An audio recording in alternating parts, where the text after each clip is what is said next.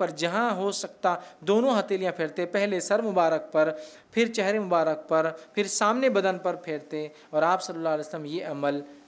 तीन मरतबा करते थे सोने से पहले थ्री टाइम्स सुबह और शाम तीन वक्त करना है सोने से पहले तीन वक्त करना है मतलब थूक कर